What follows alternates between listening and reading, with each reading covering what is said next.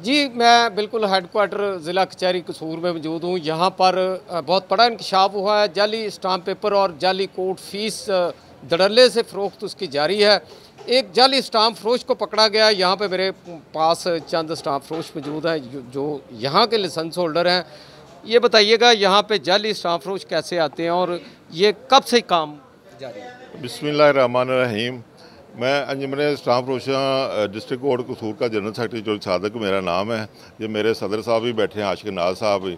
तो हमें काफ़ी अरसे से शिकायत वसूल हो रही थी कि यहाँ सौ और पचास वाले स्टाम्प शार्ट हैं, लेकिन कचहरी में जली स्टाम्प फरोशी हो रही है। वो जली स्टाम्प किसी दूसरे ज़िले से लाकर या जली लाकर फ़रोख्त कर रहे हैं।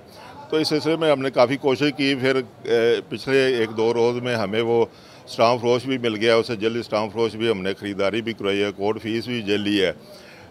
इस सिलसिले में हमने एक एप्लीकेशन डिस्ट्रिक्ट एडिशनल कलेक्टर साहबा को भी एप्लीकेशन भी रसाल की हुई है। उनकी बड़ी मेहरबानी, उन्होंने इस जली स्टाम्प फरोश के ख़िलाफ़ फौरी कार्रवाई का हुक्म दिया, हम उनके शुक्रगुजार भी हैं। उसके अलावा हम कचहरी में जितने भी आउटसाइडर स्टाम्प फरोश हैं ना वही ये लोग गलत काम करते हैं, जली स्टाम्प लाकर फरोख आते हैं और आता कचहरी के स्टाम्प फरोशों को बदनाम कर रहे हैं। उसका सारा बोझ जो हमारे आता कचहरी के स्टाम्प फरोशों के ऊपर पड़ता है। तो मेरे साथ ये काफ़ी दोस्त हमारे अहदेदार भी साथ खड़े हैं। तो इस सिलसिले में हमारा इंतज़ामिया से यही गुजारिश है कि जितने भी आउटसाइडर स्टाम्प फरोश, कचहरी आता कचहरी में बैठ के जली स्टाम्प फरोश, जली कोर्ट फ़ीस फरोख आते हैं, उनके खिलाफ सख्त कार्रवाई की जाए। और उनके लाइसेंस मुतल किए जाएँ और उनको जहाँ के स्टाफ उनके लाइसेंस जारी हैं वहाँ जाकर अपना काम करें उनके खिलाफ कार्रवाई की जाए। जी अब आशिक नाज सदर साहब जो है ना वो भी इस पर बात करेंगे। अच्छा और आपने कहा है कि ये एप्लीकेशन जो है हमने दी है तो इस पे एडीसीआर ने कार्रवाई शुरू कर दी है।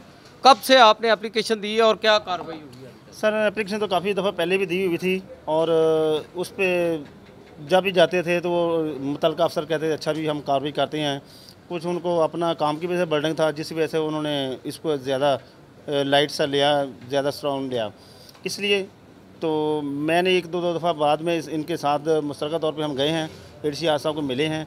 उन्होंने फिर हमारे साथ मीडिया वगैरह भेजा है उसको मुतल क्लर्क को भेजा है। वो जाके उन्होंने उनको जो जली स्टाम्प बेचता था, वो कोर्ट भी बेचता था, उसको पकड़ा है। पकड़ के साथ उस बस उस पर कार्रवाई की है, ठीक है? और बार उसको जो पुष्ट बनाई जो पीछे से वो स्टाम्प पेपर मुहैया करते हैं, जो कोर्ट फ़ी मुहैया करते हैं, वो उसकी पुष्ट बनाई करा रहे हैं, ताकि उनके खिलाफ कोई कार्रवाई ना हो। जी, बिल्कुल, इसका मतलब है कि आज सर नो एक नेटवर्क बनाया गया है। अभी पुश्तपनाई अगर हो रही है तो पीछे क्या, कौन से हाथ कार फरमा है, इस पर कौन कौन मुलवस है? बड़े पैमाने पर यह काम किया जा रहा था। ज़िला कचहरी कसूर में स्टाम्प पेपर और कोर्ट फ़ीस इस हद तक फ़रोख्त किए जा रहे थे। असल स्टाम्प फरोश उनके पास स्टाम्प नहीं थे, कोर्ट फ़ीस नहीं थे।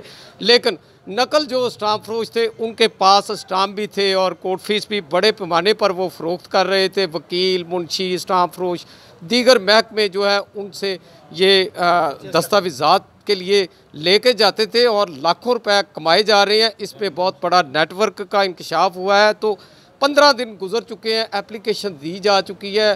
कार्रवाई जो है वो बरए नाम की जा रही है। इनके खिलाफ कोई एफ़ आई आर अभी तक दर्ज नहीं हुई और ना ही मुलजमान को पकड़ा गया है। तो यहाँ पे जो असल स्टाफ फरोश हैं, यहाँ के मुतासरीन हैं, वो मुतालबा कर रहे हैं हुकूमत वक्त से वज़ी अला पंजाब से और डिप्टी कमिश्नर कसूर आसिया गुल से के फौरी तौर पर कार्रवाई की जाए, एक्शन लिया जाए और मुलजमान को गिरफ़्तार करके कड़ी से कड़ी सज़ा दी जाए। जी।